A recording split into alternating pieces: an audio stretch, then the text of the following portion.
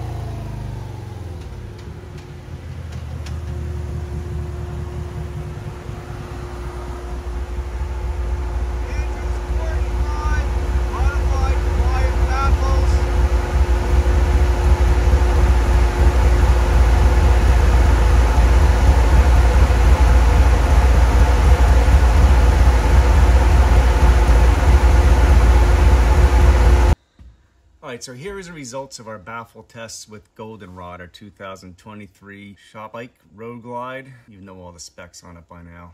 So this here, we are running the Andrews 485 cam in this still. I left it in the bike for this test. This here is how the 485 performed with the louvered baffle, as I did with all the testing on this exhaust system on all the other cams. So a lot of people say, well, hell, why do I need baffles? Well, the reasons why is because they help create this area torque and help the bike run a lot better by keeping back pressure. Right? So when you're riding your bike, when you're cruising down a road, just cruising through, through town and back roads, taking it easy, you're gonna be in this RPM range here, probably 2,000 to 3,000 RPM area. And that's this area here where you want nice torque for that. When you're cruising down the highway, you're up at this area, 3,000, 3,500 RPMs. You know, 4,000 and up, that's your fun zone. That's passing vehicles, that's getting out there with your buddies and just really letting it loose. So we try to maximize the power across the build for everybody to give them the best performance everywhere or where they ride. If they're only out running their buddies, having a good time, they don't care about down here. But the guys doing back roads, going up and down mountains and touring with their wives, this is important. You know, so that's something we like to do here. So I'm gonna bring up a graph with taking the baffles out of this and you'll see how this changes. Same exhaust, baffles removed. Now you can see here this big torque dip we got here. We lost, what, 10 foot-pounds of torque at, at 3,000 RPMs. But loss of torque throughout the range there. The rest of it stayed kind of the same after I uh, recalibrated. A little more peak torque here, which happens with a, a big baffle. This is the graph you normally see with a Rinehart baffle with a DBX muffler. You'll give you this kind of graph. So I'm going to put in the quiet baffle. The quiet baffle is one I like. It's just a little mellower. It will change the curve a little bit, and that will really show us a little difference what's going on there. And that would be right here. So now we can see with the quiet baffle, well, the torque came on earlier than with the louvered baffle. We lost a little bit of mid-range torque, but the rest of it stayed about the same. Actually gained a little top-end horsepower, which is pretty amazing here. And um, with every one of these baffle tests, I am going through and recalibrating the fuel curve so I can get honest result. So now a lot of folks like to talk about taking the quiet baffle, or it's called the spoon baffle, and modifying it. So we're gonna show you what happens there. I'm gonna bring up just the quiet baffle by itself. Now we're gonna have, I'm sorry, that's no baffle. There's a quiet baffle, or the spoon baffle as it's called. And I'm gonna bring up taking that spoon baffle and modifying a little bit. And you can see what happened there. We modified that baffle there, we lost a little low end torque where you're cruising up and down the mountains.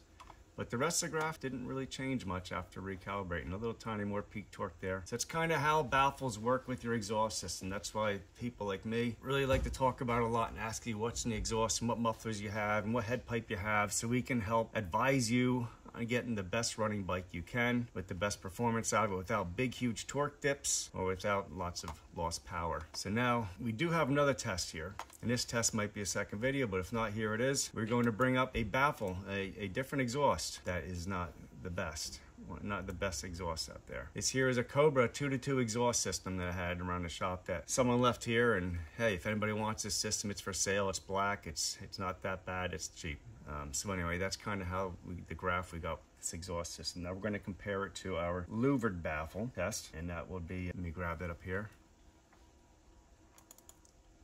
Here's a same bike with the Khrome Werks 2 to 2 with the louvered baffle. Look at this torque we lost here with that Cobra exhaust system. We lost a whole crap ton of torque here. A little more and the peak torque came to here and we also had less horsepower. So it's amazing how exhaust system is very important. And that's why exhaust systems are one of the biggest questions I have for people when they call here to talk to me about their motorcycles. It makes a really big difference on how they run. So let's just close this out and I'll bring up the quiet baffle one. Now see how it looks versus the quiet baffle. Look at that. Look what you're giving up with that exhaust system.